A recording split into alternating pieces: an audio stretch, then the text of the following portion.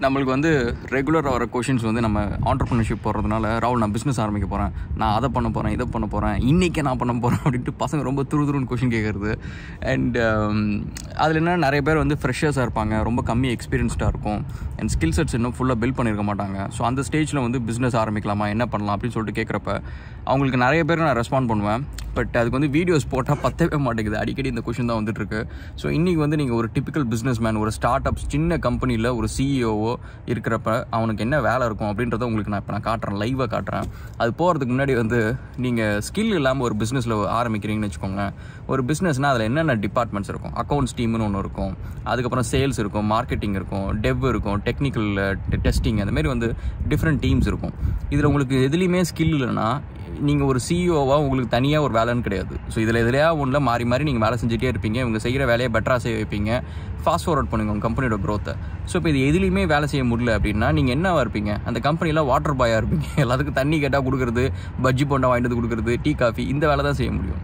C இதை நான் சொல்கிறது வந்து மேபி அஃபென்சிவாக இருக்கும். பட் நான் இது சொல்கிறது வந்து உங்கள் நல்லதுக்கு நான் சொல்கிறேன் ஏன்னா பிஸ்னஸ் ஆரம்பிச்சுட்டு என்னடா அது நம்மளுக்கு இது சரிப்பட்டு வராது போல இருக்கே நம்ம ஃபெயிலியர் போல இருக்கே அப்படின்னு சொல்லிட்டு நீங்கள் ஆரம்பித்த டைம் தப்பு உங்களுக்கு எக்ஸ்பீரியன்ஸ் இல்லாமல் உங்களுக்கு கைடன்ஸ் இல்லாமல் ஆரம்பிச்சது தான் தப்பு. மற்றபடி வந்து it doesn't mean that you're not you not really fit for business அப்படின்னு கிடையாது. ஏன்னா உங்களுக்கு எக்ஸ்பீரியன்ஸ் இல்லை urine start at the right time so அதுதான் ஃபேக்ட் ஸோ அதனால் ஆரம்பிக்கிறதுக்கு முன்னாடி மினிமம் வந்து உங்கள் உங்களோட எந்த ஒரு பிஸ்னஸ் யூனிட் உங்கள் பிஸ்னஸில் இருக்கிற சேல்ஸோ டெக்னிக்கலோ இல்லை வந்து அக்கௌண்ட்ஸோ எதையோ ஒன்றில் வந்து you should be super strong super ஸ்ட்ராங்னா ஆவரேஜாக அறகுறையாலாம் கிடையாது கைஸ் ஸோ நீங்கள் அந்த இடத்துல வந்து வேறு எவ்வளோ எக்ஸ்பீரியன்ஸ்டான ஆள் வந்தாலும் நீங்கள் சொல்கிறது வந்து அந்த இடத்துல வந்து ஒரு ஸ்மார்ட்டான ஒரு பெட்டரான டிசிஷனாக இருக்கும் ஸோ அது வந்து ஜஸ்ட் ஸ்கில் மட்டும் வந்துடாது அது எக்ஸ்பீரியன்ஸும் ரொம்ப ரொம்ப இம்பார்ட்டன்ட் ஸோ அதுக்கு வந்து மினிமம் வந்து ஒரு ஃபைவ் இயர்ஸ் எக்ஸ்பீரியன்ஸ் வச்சுக்கோங்க. அந்த ஃபைவ் இயர்ஸில் உங்களை வாட்ச் பண்ணுங்கள் கைஸ் ஏன்னா நீங்கள் வந்து பிஸ்னஸ்க்கு வந்து தகுதியாக அப்படி தகுதி இருக்கா இல்லையா அப்படின்ட்டு. ஏன்னா இதுக்கு என்ன தகுதின்னு வச்சுக்கோங்களேன் பணம் இருக்கணும்னு அவசியமே கிடையாது. நான் ஆரம்பித்த எந்த பிஸ்னஸ்க்குமே முதலீடு என்கிட்ட யாருமே கொடுக்கல. என் டைம் கையில் முதலீடு கிடையாது. ஈவன் இப்போ இந்த வர்ச்சுவல் இம்போர்ட்ஸ் மட்டும் எனக்கு தெரிஞ்சு வந்து ஒரு சின்ன முதலீடில் ஆரம்பிச்சது தான் இத்தனை வருஷம் மூணு வருஷம் ஆயிடுச்சு. நீங்கள் மூணு வருஷம் கம்ப்ளீட் பண்ணிட்டோம். அண்ட் ஸோ uh, அதை பற்றி பேசலாம். இன்றைக்கி என்ன வேலை பண்ணிருக்கிறோன்ட்டு ஸோ அந்தமாரி uh, அந்த தகுதின்றது வந்து நம்மளுக்கு உழைப்பு மூலிமா தான் நம்மளுக்கு வரும். ஸோ அந்த உழைப்பை நம்ம போடுறதுக்கு ரெடியாக இருக்கணும். அந்த அஞ்சு வருஷத்தில் நீங்கள் வேற ஒரு கம்பெனிக்கு ஒர்க் பண்ணுறப்ப உங்களோட மைண்ட் செட் எப்படி இருக்குன்னு பாருங்கள் அஞ்சு மணிக்கு மேலே அப்பாடா போதும்டா இனிமேல் வேலை செய்ய வேணாம். அப்படின்னு வச்சுங்களேன் உங்களுக்கு பிஸ்னஸ் சரிப்பட்டு வராது. அதேமாரி உங்கள் ஆஃபீஸில் ஏதோ ஒரு ஒர்க் ப்ரெஷரு டென்ஷனு அதை நீங்கள் வீட்டுக்கு எடுத்துகிட்டு வச்சுங்களேன் பிஸ்னஸ் பிஸ்னஸ் உங்களுக்கு சரிப்பட்டு வராது. ஆஃபீஸில் பாலிட்டிக்ஸ் இருக்குது அதை ஆசையாக உட்காந்து ஜாலியாக கேட்குறீங்க காசிப் பண்ணுறீங்க அப்படின்னா பிஸ்னஸ் உங்களுக்கு சரிப்பட்டு வராது. ஆஃபீஸில் இவங்கள பற்றி அவங்கள பற்றி புறம் பேசுகிறீங்க அப்படின்னா பிஸ்னஸ் உங்களுக்கு சரிப்பட்டு வராது. மாட்டினாடா மானஸ்த அண்ட் அதே மாதிரி ஆஃபீஸில் என்னோட வேலை வந்து நான் சிவில் இன்ஜினியர் என்னோட வேலை நான் டெவலப்பர் இதில் மட்டும் தான் நான் ஃபோக்கஸ் பண்ணுவேன். என்னோட ஸ்கில் செட் இது மட்டும் தான். அப்படின்னு சொல்லிட்டு நீங்கள் அதுக்குள்ளே சுற்றி சுற்றி வந்துட்டீங்கன்னா பிஸ்னஸ் உங்களுக்கு சரிப்பட்டு வராது. அதே மாதிரி உங்களுக்கு வந்து இப்போ உங்களுக்கு ஒரு ஆப்பர்ச்சுனிட்டி கிடைக்குது. அக்கௌண்ட் சாஃப்ட்வேர் பற்றி படிக்கிறது லெட்ஸே டேலியை பற்றி படிக்கிறதோ மயோபி படிக்கிறதோ அந்த மாதிரி ஏதோ ஒரு உங்கள் ஸ்கில் செட் இல்லாமல் ஒரு இன்னொரு டிபார்ட்மெண்ட் நாளைக்கு பிஸ்னஸ் ஆரம்பிக்கிறப்ப அந்த டிபார்ட்மெண்ட் உங்கள் ஆஃபீஸில் இருக்கும். ஸோ அந்த டிபார்ட்மெண்ட்டில் இருக்கிற ஸ்கில் கற்றுக்கிறதுக்கு ஒரு ஆப்பர்ச்சுனிட்டி கிடச்சி இல்லை இல்லை எனக்கு இது புரியல. ரெண்டே நாள் எனக்கு புரியல. மூணே நாள் எனக்கு ரொம்ப கஷ்டமாக இருக்குது இது எனக்கு செட் ஆகாது. எனக்கு மேக்ஸ் தெரியாது.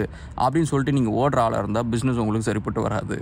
அண்ட் இது இது எல்லாமே நம்மளுக்கு நெசசிட்டியாக இருக்கணும்னு அவசியம் இல்லை கைஸ் எல்லாத்துலேயுமே நான் வந்து பெஸ்ட்டாக இருக்கணும்னு அவசியம் கிடையாது. பட் இது எல்லாத்துலேயும் ஓரளவுக்கு ஆவரேஜாக ஒன் அட்லீஸ்ட் ஒரு மெஜாரிட்டி ஆஃப் த விஷயத்தில் வந்து நீங்கள் நல்லா ஸ்ட்ராங்காக இருக்கிறீங்க. உங்களுக்கு அந்த ரியலாக வந்து அந்த விஷயத்தை போய் எப்படி கற்றுக்கிட்டு எனக்கு தேவை அப்படின்னு சொல்லிட்டு நீங்கள் பண்ணுறீங்களோ தட்ஸ் லீடர்ஷிப் ஸோ அது வந்து இட்ஸ் ப்ராப்பர் பிஸ்னஸ் கை என்னோட லிங்க்டின் ப்ரொஃபைல் நீங்கள் ஃபார் எக்ஸாம்பிள் நீங்கள் எடுத்து பார்த்தீங்கன்னு வச்சுக்கோங்களேன். Every two to three years வந்து நான் வேறு ஒரு என்டையர் டொமைன்லேயே வேலை செஞ்சுருப்பேன். நான் படித்தது சிவில் ஒர்க் பண்ணது ஐடி சப்போர்ட்டில் வேலை செஞ்சேன். அதுக்கப்புறம் ஐடி செக்யூரிட்டியில் வேலை செஞ்சேன். அதுக்கப்புறம் சிவில் இன்ஜினியரிங்கில் வேலை செஞ்சேன். அதுக்கப்புறம் ஃபசாட் இன்ஜினியரிங்கில் வேலை செஞ்சேன். அதுக்கப்புறம் டெலிகம்யூனிகேஷனில் வேலை செஞ்சேன். கேட் அண்ட் ஜிஎஸில் வேலை செஞ்சேன். ஸோ நீங்கள் பார்த்தீங்கன்னா இது எல்லாமே இப்போ கடைசியாக நான் வந்து ஒரு கம்பெனி கன்சல்டிங் பண்ணது வந்து இ காமர்ஸில் ஸோ இது எல்லாமே நீங்கள் பார்த்தீங்கன்னா எந்த ஒரு ஃபீல்டுக்கு இன்னொரு ஃபீல்டுக்கும் ஒரு ரிலவெண்ட்டே கிடையாது. எல்லாம் டிஃப்ரெண்ட் இண்டஸ்ட்ரி இது எல்லாத்துலேயுமே நான் இருக்கிறதுல ஹையஸ்ட் சேலரி ஆஸ்திரேலியாவில் வாங்கினேன். இந்தால நிறைய போடுறான்டா. எல்லாத்துலேயுமே சீஃப் கன்சல்டண்ட்டாக வேலை செஞ்சேன். And at the same time வந்து பார்த்திங்கன்னா இது இது எல்லாமே பார்த்திங்கன்னா என்னோட ஏதோ ஒரு பிஸ்னஸில் ஏதோ ஒரு ஃபங்க்ஷன் யூனிட்டாக வந்து யூஸ் ஆகிட்டு இருக்கும். ஸோ இதுதான் வந்து இதுதான் வந்து இன்னியோட நம்மளோட ஸ்டேட்டஸ் இந்த இந்த ஒரு விஷயத்தில். And at the same time வந்து இப்போ நீங்கள் பார்த்தீங்கன்னா இந்த ஒரு பிஸ்னஸில் வந்து இப்போ நம்ம வர்ச்சுவல் இம்போர்ட்ஸ் வந்து மூணு வருஷம் பண்ணிருக்கிறோம் கண்டெய்னர் வந்து யூரோப்லேருந்து கொண்டு வந்து விற்றுட்ருக்குறோம் அண்ட் இன்றைக்கி நீங்கள் பார்த்தீங்கன்னா என்னோட வேலை என்ன அப்படின்னு பார்த்தீங்கன்னா நேற்றுக்கு இன்றைக்கும் அந்த கண்டெய்னர் வந்துருச்சு. அண்ட் um, அதை வந்து இப்போ எடுத்துகிட்டு வந்து நம்ம இங்கே இருக்கிற குட்ஸ் எல்லாத்தையும் கொண்டு போய் மேலே போட்டிருக்கோம். அண்ட் ஸோ uh, இப்போ இது நீங்கள் பார்த்தீங்கன்னா ஆள் வச்சு தான் கொஞ்சம் ஆள் வைக்கிறோம். பட் இந்த சேம் டைம் நம்ம உட்காந்து நிழலே உட்காந்து வேலையை செய்ய முடியாது. நம்ம இறங்கி இந்த வேலையை செஞ்சு ஆகணும். அண்ட் அதுக்கு வந்து இந்த கேன் டூ ஆட்டிடியூன்றது ரொம்ப இம்பார்ட்டண்ட் நம்மளுக்கு டிஸ்கில் இஷ்யூ இருக்குது பேக் பெயின் இருக்குது அண்ட் இன்னும் பற்பல பிரச்சனைகள்லாம் இருக்குது பட் தி சேம் டைம் வந்து தட்ஸ் ஜஸ்ட் அன் எக்ஸ்கியூஸ் என்னை பொறுத்த வரைக்கும். இன்றைக்கி இப்போ பாருங்கள் வேலை முடிஞ்சிச்சு இல்லை இன்னும் பேக் அவ்வளோ பெருசாக ஹர்ட் பண்ணல. ஸோ அப்போ என்னாச்சு? இப்போ இந்த எக்ஸ்கியூஸ் வந்து நம்மளை ஸ்டாப் பண்ணியிருக்கோம் அது ஸ்டாப் பண்ணாமல் நம்ம போகிறோம் பார்த்தீங்களா ஸோ அதுதான். என்ன மனுஷன்? இந்த ஸ்மால் பிஸ்னஸ் சிஇஓவாக நீங்கள் இருக்கணும்னு நினைக்கிறப்ப you should be unstoppable guys end of the day so அதனால் நீங்கள் பிஸ்னஸ் ஆரம்பிக்கணும்னு யோசிக்கிறப்ப இந்த விஷயம்லாம் ஒருத்தர் யோசிங்க. அண்ட் ஆக்சுவலி வந்து இன்னொரு விஷயம் சொல்கிறேன் um, இது வந்து என்னோடய virtual இம்போர்ட்ஸோட partner Bhaskar hi Bhaskar hi சொல்லுங்கள் ஹலோ ஹாய் ஸோ பிஸ்னஸ் ஆரம்பித்து மூன்றரை வருஷம் ஆச்சு. பாஸ்கரை இன் நேத்திக்கு தான் நான் வந்து ஃபஸ்ட்டு டைம் லைஃப்பில் நேருக்கு நேராக மீட் பண்ணுறேன் என்னோடய பார்ட்னருங்க நாங்கள் ரெண்டு பேரும் வந்து இல்லச்சே நாங்கள் பிஸ்னஸ் ஆரம்பிக்கிறோம் எங்கள் அப்பாட்ட வந்து முப்பதாயிரம் டாலர் கேட்டால் எங்கள் அப்பா கொடுப்பாருன்னு டவுட்டு தான். அவங்க அப்பா கொடுப்பாருன்னு டவுட்டு தான். பட் என்னை நம்பி அவர் கொடுத்தாரு அவர் நம்பி நான் கொடுத்தேன். எத்தனைக்கும் அவரை நாங்கள் நேர்லேயே பார்த்ததே கிடையாது.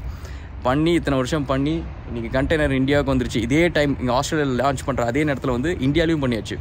So uh so and thanks guys and cheers